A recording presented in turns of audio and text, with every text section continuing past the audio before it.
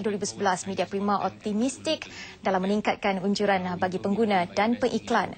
Kumpulan komited untuk mengekalkan kedudukannya sebagai pemimpin industri dan pendapatan menerusi pelaburan berterusan dalam penjenawaan dan kandungan berkualiti. Kumpulan Nazar dan Help International Corporation berhad melabur 25 juta ringgit bagi menubuhkan kolej automotif dalam tempoh lima tahun, ini bertujuan melahirkan lebih ramai tenaga mahir automotif bagi memenuhi permintaan industri berkenaan dalam dan luar negara.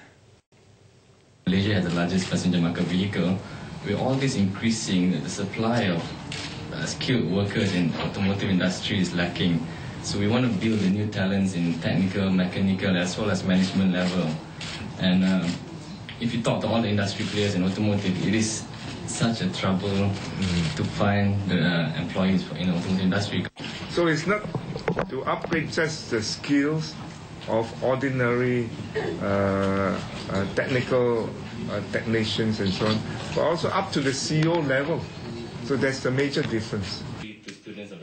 Perkara itu dinyatakan selepas kedua-dua pihak menandatangani MOU bagi menubuhkan kolej berkenaan dengan pegangan usaha sama 50-50.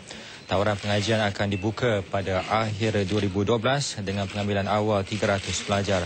Kumpulan Nazam menimbang menawarkan beasiswa kepada pelajar yang mengikuti pengajian otomotif ini. Very mindful of productivity and performance. Beralih ke laporan saham. Petang tadi FBM KLCI ditutup rendah 2.52 mata kepada 1511.11